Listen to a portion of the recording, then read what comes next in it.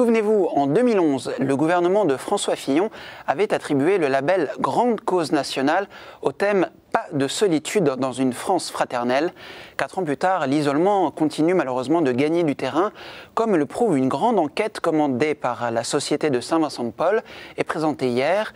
Son auteur nous en livre les principaux résultats. La solitude concerne euh, des, franges nombreuses de la population aujourd'hui. Les personnes âgées euh, sont souvent plus seules, elles ne sont plus actives, elles vivent chez elles, elles n'ont plus la possibilité de se déplacer autant euh, qu'autrefois, et donc il y a une réduction de la surface de leur intégration sociale.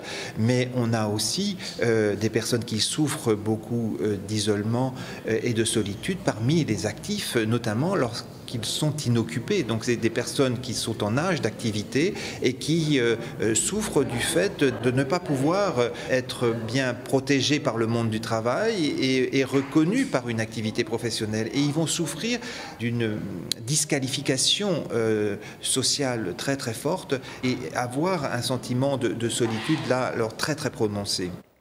Pour aller au-delà des résultats chiffrés de cette enquête, nous nous sommes rendus sur le terrain pour suivre l'action de la Société de Saint-Vincent-de-Paul. Ce samedi matin, à Atis-Mons, Michel rend visite à son amie Véronique. Ce bénévole de la Société de Saint-Vincent-de-Paul a rencontré la jeune grand-mère dans le cadre de sa mission. C'est ce qui se passe avec, euh, avec cette famille que je, moi que je vais voir comme euh, si c'était un peu ma propre famille, en tout cas des amis euh, proches.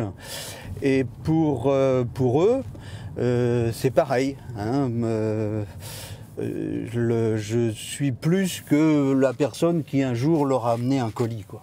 Bonjour Véronique. Va bien A dormi T'as vu, je t'ai amené le soleil. Hein. Chez elle, Véronique héberge trois de ses enfants et deux petits-enfants.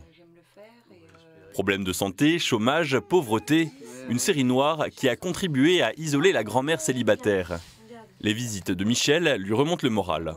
Michel fait partie de, notre famille parce que quelque part, euh, il n'a pas eu de préjugés, il n'a pas eu de, il a été dans l'écoute. Si cette amitié n'était pas là, euh, je ne sais pas où j'aurais pu vraiment la chercher. Le manque pécunier fait qu'on ne peut pas aller vers l'extérieur parce que bah, euh, sortir aujourd'hui, c'est quand même un budget. Comme Véronique, les chômeurs, premières victimes de la solitude, c'est ce qu'affirme l'enquête sur l'isolement et le délitement des liens sociaux initiée par la Société de Saint-Vincent-de-Paul. Le document donne des éléments de compréhension du phénomène qui devraient permettre de mieux le combattre. Dans trois ans.